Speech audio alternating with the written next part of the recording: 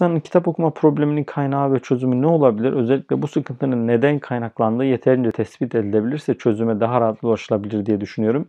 Bu Hayritos'un YouTube'dan sorduğu bunu. Ee, bu Hayrit YouTube'da ben de anlamadım yani ne demek kitap okuma problemi filan. Devamında dedik yani işte yeterince okumuyor, okuma alışkanlığı yok e, kaynaklar dar. Yani sadece üstad ve hoca efendi okunuyor filan filan. Hatta bunlar da okunmuyor gibi şeyler söyledi. Doğru. E, bu ama daha geniş bir bence cevap isteyen. Yani biraz da benim de düşünmem gereken bir şey belki ama ilk aklıma gelen cevaplar şu. Bir, e, yani bir yerde bırakılıyor bu mesele. Yani bakın işte mesela bu kitap okumayı sevdirme çabası yok da kitap okutma çabası oluyor. İnsanlar sevmeden de olsa mecburen okumak zorunda kaldıkları şeyleri okuyorlar ve başka hiçbir şey okumuyorlar. Başka hiçbir şey okumayınca da çeşitlendiremiyorsunuz. Yani okuma zevki aşılamış olmuyorsunuz. Okuma zevki aşılanmayınca da sadece mecbur kaldığı kitapları okuyan, sadece mecbur kaldığı kitaplara bakan bir şey oluyor. Bu da daha dar bir bakış açısına sebep oluyor. Yani şöyle düşünün.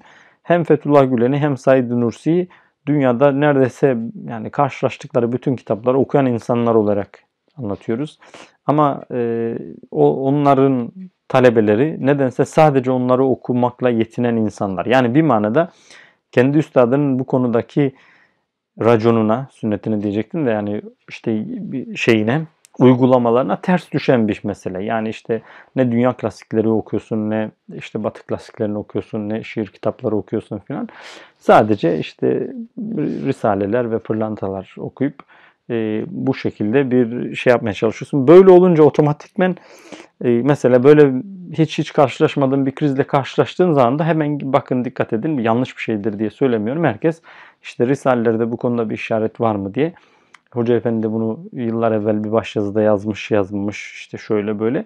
Bir geriye gidip oradan tekrar bir e, imanına vesile olacak, tatmin edecek, rahatlatacak bir şey arama şeyini düşüyoruz. Oysa mesela ee, ben şu, şu aralar neye bakıyorum? Örnek olması hasebiyle. Örnek olur mu bilmiyorum tabii. Bir arkadaş ısrarla e, Twitter'dan paylaşınca şu ara mesela şu kitaba bakıyorum. Yani bakacağım daha yeni aldım. Bir tane daha aldım da şimdi hangisini önce okurum bilemiyorum.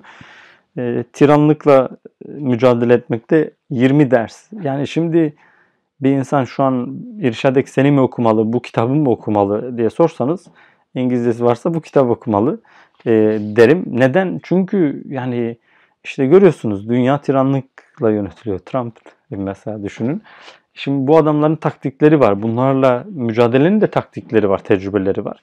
İşte sivil toplum hareketleri nasıl organize olur, nasıl çalışır bunlara bakmak lazım. E, bunlara illa kitap bazında bakmaya gerek yok. Bloglar var, internetler var, YouTube'lar var, filmler var. E, bu manada bir sürü e, problem olduğunu düşünüyorum. E, inşallah e, cevap olmuştur diye düşünüyorum. Bir sürü şey var. Evet. Bu bunun yani hizmetteki kitap okuma probleminin temel kaynağı zorlanma olabilir. Yani nihayetinde ailesinden böyle bir şeyi olan insanlar okumaya devam ediyorlar. Bundan da istifade ediyorlar.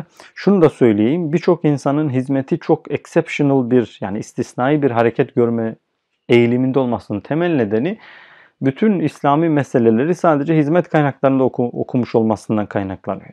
Yani mesela desem ki Fethullah Gülen'in bazı fikirlerini işte Cemalettin Afgani'de de bulabilirsiniz. Yani Fethullah Gülen'den bir şey eksilir mi? Eksilmez. Hatta dersiniz ki yani Aa, demek ki bak yani aklı olan herkesin geldiği nokta burasıymış. Ama bunu bu, bu becerebilmiş, bu yapabilmiş, bu henüz yapamamış filan gibi.